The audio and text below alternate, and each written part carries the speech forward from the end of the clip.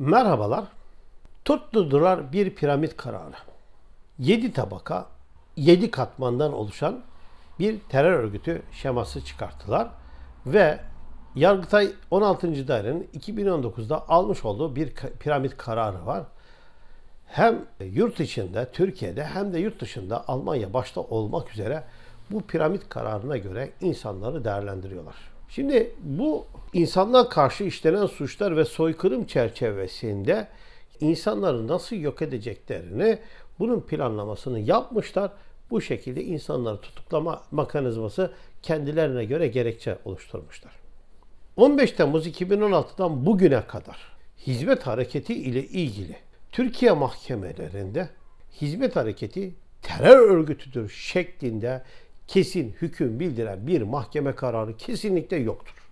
Ama hem Yargıtay 2017 kararına hem 2019 kararlarına ve diğer kararlarına baktığımızda şunu görüyoruz. Olduğu düşünülen, şu terör örgütüyle irtibatlı olduğu düşünülen, sağlanan, varsayılan gibi ifadeler yer almakta. Hakim, savcı, spor yorumcusu değil ki bir yorum yapsın. Onlar bir gerekçeyle hüküm vermek zorunda olan, onun için o koltukları işgal eden kişiler. Sen gereği düşünüldü dedikten sonra hükmü vermen gerekiyor. İşte bugüne kadar gereği düşünüldü. Ya da varsayılan işte terör örgütleriyle irtibat, iltisak mensubiyeti olduğu varsayılan kişiler diyor, hükmü vermiyor. Yani şu ana kadar bu noktada kesin hüküm bildiren herhangi bir mahkeme kararı bulunmamak. İşte bu sebeple hizmet hareketinin tırnak içerisinde FETÖ, terör örgütü gibi kullanımlar hem cemaat üyeleri tarafından ağız alışkanlığı ve Türkiye'de bulunmadan dolayı tedbir maksadıyla kullanılan ağız alışkanlığı sebebiyle bu kanıksamalar bulunmakta. Zaten toplum bunu söylüyor. 40 yılda üzerine yapıştı. Bundan sonra kalkmaz gibi safsatalarla insanlar kanıksamış, ön kabulle devam ediyor. Bu yanlış bir durum. Bu kabullenilmemeli.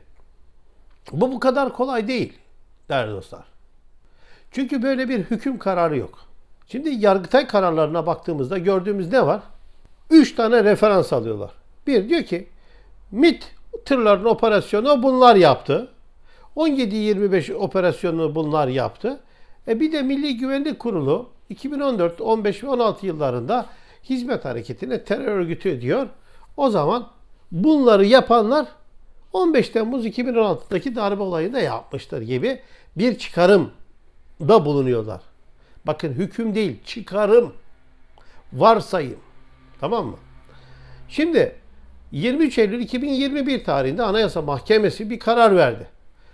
Milli Güvenlik Kurulu tavsiye kuruludur, icra yerinde değildir. Onun için ben Milli Güvenlik Kurulu'nun kararını iptal ediyorum dedi. Dolayısıyla o üç gerekçeden biri iptal oldu. MİT ile alakalı işlemleri zaten Sedat Peker o tırları ben yolladım dedi. Kendi pisliklerini anlattılar. E 17-25'te zaten adli idari bir olay. Yani hırsızlık var ortada. Darbeyle bir alakası yok. Dolayısıyla aslında hırsızlarının yargılanması gerekiyordu. Millet polisleri değil hırsızı tuttu. Bugün de ağlıyor. Ne yapalım? Şimdi işin bir tarafı bu. Bu sebeple Anayasa Mahkemesi'nde, Yargıtay'da, Bölge İdare Mahkemeleri herhangi bir yerde hizmet hareketi ile ilgili kesin hüküm bildiren hizmet hareketi terör örgütüdür diye bir mahkeme kararı bulunmamaktadır. Bakın arkadaşlar ben %90 kör görme engelli bir insanım. Şu ana kadar yüzlerce, binlerce dosya inceledim. Onlarca, yüzlerce, binlerce yani 20 bine yakın insanla görüştüm. Öyle düşünün. İddianameleri, soruşturma, kovuşturma dosyaları bunların hepsine baktım. Tamam ya ama ya ben görmedim. Gören varsa gözüme soksun. Ama yok öyle bir şey değerli dostlar. İşin birincisi bu. Lütfen bunu kabul etmeyin ve ifadelerinizi kullanırken bu ön kabul ve alışkanlıkla gelmeyiz. Birincisi bu. İkincisi bu piramit kararı bir örgüt şeması. Yani terör örgütü şemasıdır. Bu kabul edilebilir değil. Burada hükümet ve hükümetin yargısı ne yapıyor? Zorla, zorbalıkla imtiyazlı bir grup oluşturuyorlar. Bu imtiyazlı grup keyfini sürmesi için onlara biat edecek toplumu tek düze, aynı Kuzey Kore gibi tek tip insan modeli oluşturmak için kendine biat ederek, sistemleştirerek insanları cahilleştiriyorlar, aç bırakıyorlar, çok yaşa reis biat ettirecek bir imtiyazlı zümre oluşturuyorlar.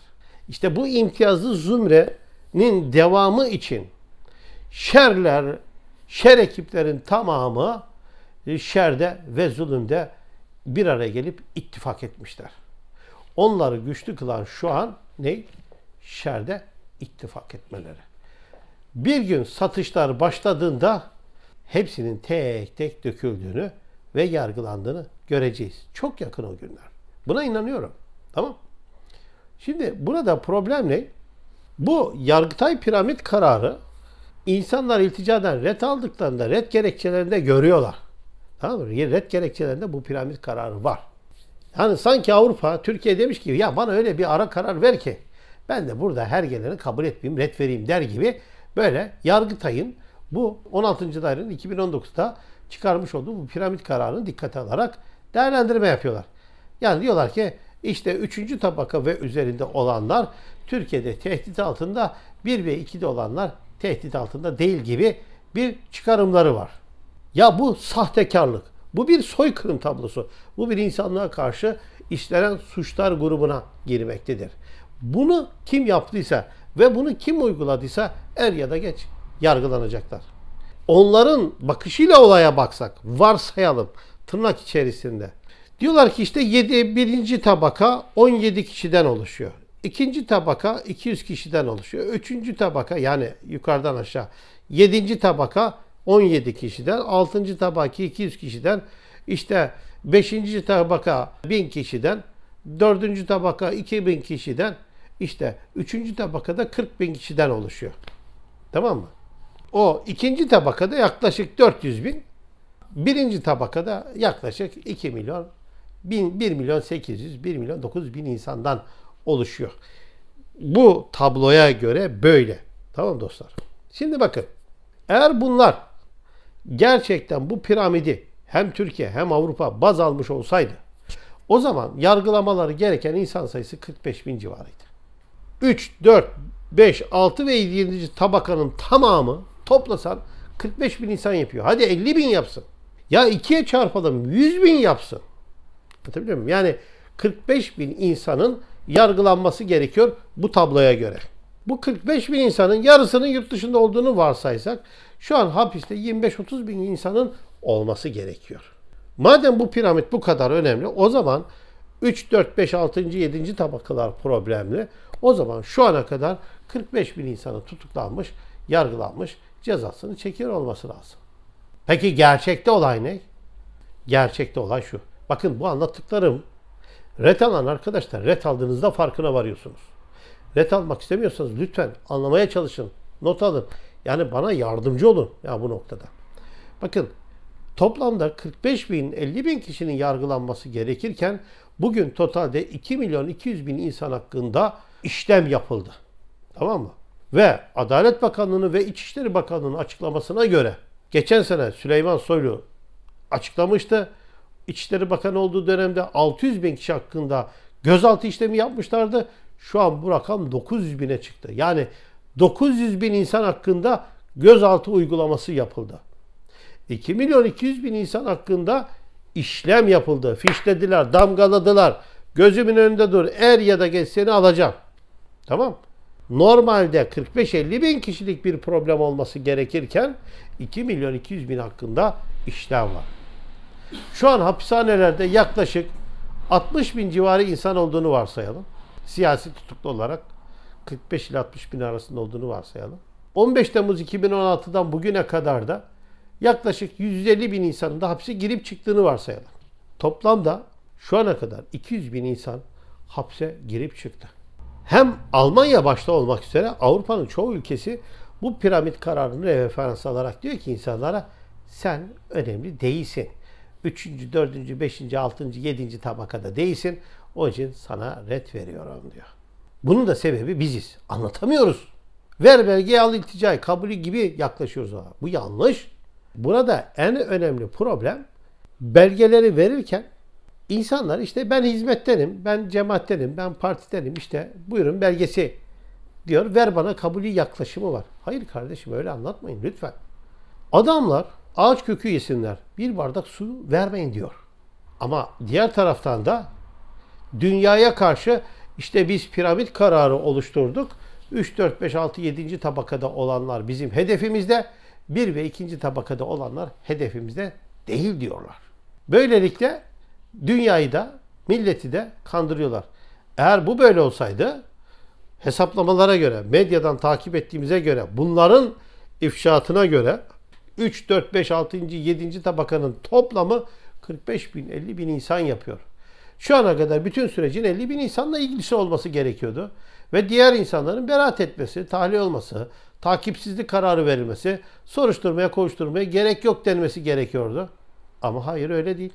Daha dün Antalya merkezde 11 ilde 50 kişiye zalimin zulmüne maruz kalmış mazlumlara, mağdurlara yardım eden insanlar tutuklandı. Gözaltına alındı. Hem de dronlarla böyle müzikler eşliğinde sanki büyük böyle terör örgütü, silahlı terör örgütüne gidiyor gibi.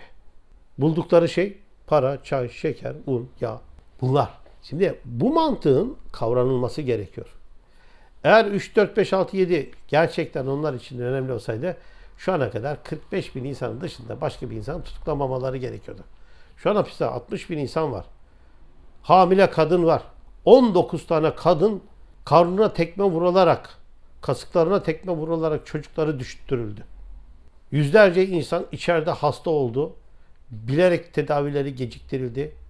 Bunların içeride ölüme terk ettiler. Bu insanların bu piramide göre sadece bankasıyla hesap olduğu için, sadece kimseye yok bağış yaptığı için, sadece baylok kullandığı için bu insanlar 6 yıl 3 ay hapis cezasına çarptırıldı. İşte bunu anlatırken Yargıtay'ın 2020, 21 ve 22'de vermiş olduğu iştahat kararlar var. Evet, Yargıtay bir taraftan kendi imtiyazlı zümrenin adamları ise veya onlara biat edenler ise onları tahliye ve beraat ettiriyorlar. Onlar cemaatten değil zaten. Ama cemaat üyesi olup sadece bankada hesap olduğu için, sadece derneğe üye olduğu için bunlar ise sadece tek bir şeyden dolayı tutuklanıp alt üç alan insanlar var. Emsal kararlar var.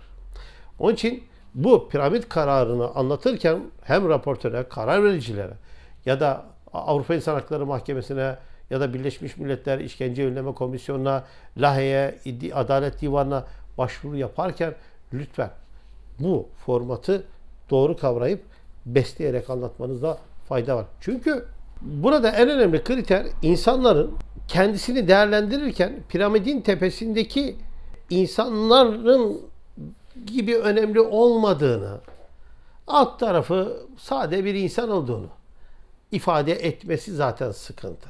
Evet siz hizmet hareketinin kurucularından olmayabilirsiniz. O başındaki büyük insanlardan birisi olmayabilirsiniz. Ama bulunduğunuz mahallede, bulunduğunuz okulda, bulunduğunuz sokakta siz o hareketi temsil eden kişisiniz. O mahalleye, o sokağa girdiğinizde kim burada hizmet hareketinden dendiğinde parmakla gösterilen kişi sizsiniz. Onun için kendinizi önemsiz görmeyin. Mütevazi davranmayın. Biz değil, ben demeniz lazım. Ben diyeceksiniz. Bulunduğu ortamda ve yerde hizmet hareketini temsil eden, öğretisini ve felsefesini benimseyen, bunu çevresindeki eş dost arkadaşlarına anlatan, onlara hizmete kazandıran, gazete dergiler abone yapan, kimse yok mu başta olmak üzere yardım yapmasını sağlayan, burs vermelerini sağlayan, bunlara öğretisini ve felsefesini organize eden insanlardan birisi. İşte bu sebepten dolayı beni hedef haline aldılar ve hapse atacaklardı. Bundan dolayı korkup kaçtım demeniz gerekiyor. Buradaki en önemli kriter bu utanç tablosu yani bu piramit utanç tablosu bu soykırım tablosunun uygulanmamasını sağlamamız gerekiyor. Hem Avrupa'daki ülkelerde hem de diğer ülkelerde bunu anlatırken siz bu Türkiye'de bile hizmet hareketiyle ilgili herhangi bir mahkeme kararı yokken, hizmet hareketi terör örgütü diye bir karar yokken siz bu piramit kararını nasıl kabul edip de uygulayabiliyorsunuz? Bu utanç verici bir olay demeniz lazım. Ve bu varsayıma göre bugüne kadar 45-50 bin insanı tutuklamaları gerekirken şu an zaten içeride 50-60 bin insan bulunmakta. Şu ana kadar 150 bin insan hapse uzun tutukluluk ve yargılamadan dolayı girip çıktı. Ve 900 bin insan gözaltına alındı. 2 milyon 200 bin insan hakkında da işlem var. Bunu aileleriyle çaptığında 8-10 milyon insan yapıyor. Ya Lüksemburg'un nüfusu ne arkadaşlar? Liechtenstein'in nüfusu 40 bin yani. Anlatabiliyor muyum? Terörist diye iddia ettikleri bu grubun toplam yani 2 milyon 200 bin insan hakkında işlem yapıyor. Toplasan 8-10 milyon insan yapıyor. Kaç ülkenin nüfusundan fazla terör örgütü mü olur ya? Böyle bir şey olabilir mi arkadaşlar? Olayları anlatırken Avrupa Birliği dediğimiz Schengen Birliği içerisindeki toplam hapishanelerde yatan terör sayısı kaç biliyor musunuz? Bütün Avrupa'da hapishanelerde yatan terör sayısı yanılmıyorsam 368 kişi. 500 kişi değil yani. Bakın 500 kişi bile yok. 500 kişi bile yok. Bu sebeple 2 milyon 200 bin terör örgütü olmaz. Yargıtay kararı utanç verici bir karardır. Bu kabul edilemez. Bunun üzerinde basa basa durmanız lazım. Birinci tabaka sempatizan tarafı. Kendi tabanındaki insanları, parti tabanındaki cemaatin okullarına, yurtlarına, evlerine, dershanelerine gelen milletvekillerini, çocuklarını, kadınlarını, kızlarını kurtarabilmek için bu tabloyu uydurdular. Birinci tabakaya beraat veriyorlar. Ama o beraat verdikleri cemaatten değil. Kendi imtiyazı zümresinin insanları ya da yandaş ve yardakçıları. İkinci grup ise taraftar grubu. Yani okul, yurt, dershanelere giden, katılan, himmet burs veren insanlar gibi düşünün bunu. Onları da hani maç alıp bilete gidip tezahürat eden ama kulüplere üye olmayan kişiler gibi düşünebilirsiniz. İşte bu bir ve ikinci tabakayı Türkiye'de beraat ettiriyorlar. Ama kendi imtiyazlı gruplarının adamlarını, cemaati değil. Ama Avrupa'da bunu değerlendirirken bir siz sen cemaat önce senin önemini düşürüyor. Sen cemaatte önemli değilsin. Sonra bir ve ikinci tabakaya giriyorsun. Ondan dolayı sen Türkiye'ye gidersen hakkında herhangi bir soruşturma, kovuşturma yok. Yani verdiğin evra da yok sayıyor. Onun için sana red verebiliyor. İşte bu sebepten burada uyanık olmanız lazım. Bir kere bu utanç tablosunu bana uygulayamazsınız. Çünkü benim hakkımda ihbar var, itirafçı var, etki pişmanlıktan yararlanan insanlar var. Arkadaşlarım dosyasında adım geçiyor. Hakkımda soruşturma var, kovuşturma var. Hükümetin hedefinde halindeyim. Çünkü ben bulunduğum yerde hizmet hareketini temsil eden birisiyim diye bahsetmeniz gerekiyor. Bu piramit kararı red kararlarında görüyoruz arkadaşlar. Bunun da temel sebebi dediğim gibi bu utanç vesikası, utanç raporu var. Bu uygulanabilir değil. Ama maalesef 2019'daki bu Yargıtay'ın bu kararına rağmen 2020, 21, 22'de bu e, piramit kararını boşa çıkartan onlarca karar var. Israrla bu 2019 kararında duruyorlar. İşte bu şikayet edilmeli. Bu durum lanetlenmeli. Bu durum hukuki platformda, hukuki zeminde dile getirerek uygulamadan kaldırılması yönünde taleplerde bulunulmalı. Bu kabul edilebilir değil. Bu soykırım tablosunu böyle tecrübeye sahip ülkeler nasıl olur da bunu kullanmayı kabul edebilir ya? Anlamış değilim. Nasıl olur da Türkiye'deki zalim diktatörün, faşist diktatörün uygulamalarını meşrulaştırabilir, meşru kabul edebilir. Ve ret alan arkadaşlar siz bu meşruluğu nasıl kabul ediyorsunuz? Bakın ret tutanaklarına göreceksiniz 16. dairenin Yargıtay 16. dairenin 2019'da almış olduğu piramit kararına diye var sizin tutanaklarınızda. Bunu mülteci dairelerinin meşrulaştırmasına nasıl göz yumuyorsunuz? Nasıl kabul ediyorsunuz bunu? Hafızalarım almıyor ya. Burası demokrasinin, hukukun, insan haklarının olduğu ülkeler. Bu utanç vesikasının hükümeti, Türkiye zalim diktatörünün yapmış oldukları bu uygulamanın meşrulaştırılmasının önüne geçilmelidir. insafı, aklı, vicdanı olan bu süreçte zalimin karşısında olan hak ve haklının ve hakkın yanında olan her insanın bunu yapması gerekiyor. Bu Yargıtay kararıyla hükümetin piramit kararı meşrulaştırılamaz. Almanya'da, Hollanda'da, İngiltere'de başta olmak üzere Ahmediye diye bir cemaat var. Pakistanlı Gulam Ahmet diye birisi 1900'lü yıllarda yaşamış ve kendisinin nebi ve peygamber olduğunu iddia ediyor ve ciddi de bir cemaati ve takipçisi var. Bu kişiler Pakistan'da bu Gulam Ahmet'e inanan insanlar taşlanıyorlar, öldürülüyorlar, işkence görüyorlar. Her türlü sıkıntıyı çekiyorlar. Bu sebeple Avrupa ve değişik ülkeler iltica ediyorlar. Avrupa'da bulunan dernekleri evet bu kişi bizim Ahmediye cemaatinin üyesidir diye bir belge veriyor. Bu belgeyle bu kişi ilticadan kabul alıyor. Hiyerarşik yapısına bakılmıyor. Yok tavandı, ortadaydı, tabandaydı. Birinci, ikinci, üçüncü, beşinci, altıncı, yedinci katmandı şekilde bir bakım söz konusu değil. Çünkü cemaat dediğiniz olay bir şahsı manevidir. Çarkın dişlileri gibidir. Bu sebeple başında, ortasında, sonunda olmak değil. Burada en önemli kriter zalimin, diktatörün yanında değilseniz karşısındasınız. Ne dediler? 17-25-2013'ten sonra Şubat biz dediler Şubat 2014'ü milat kabul ediyoruz. Bu tarihten sonra bir taraf olan bertaraf olur dediler. Hem İnali bin Ali dedi hem de Erdoğan dedi. İşte bu sebeple bu milattan sonra bütün üyelerini tepesinden tırnağına varana kadar ya da başından sonuna sağından sonra fark etmez ki hükümet tarafına geçmeyen herkes hapishaneyi gördü, gözaltını gördü, yalnızlaştırmayı, sosyal izolasyonu gördü ve 2 milyon 200 bin insan hakkında işlem yapıldı. Eğer bu piramit kararı gerçekten uygulanabiliyor olsaydı 50 bin insan hakkında işlem yapılması gerekirdi. Yapmıyorlar. Bu utanç vesikasının uygulamasının durdurulması gerekiyor. Tamam mı? Değerli dostlar. Son olarak bu piramit kararı ve benzeri kararları boşa çıkartan onlarca Yargıtay kararı olduğu halde mülteci daireleri ısrarla 16. dairenin 2019 Yargıtay kararını uygulamakta ısrar ediyorlar. Halbuki başta Almanya Dışişleri Bakanlığı olmak üzere çeşitli ülkelerin raporları var.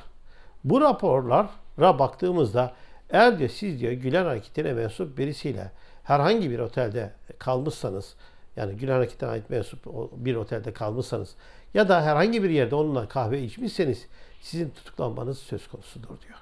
Yani cemaatle hiç alakası olmayan bir Alman vatandaşı bile tutuklanabiliyor. Şu an Türkiye hapishanelerinde 80 civarı Alman vatandaşı tutuklu insan bulunmaktadır.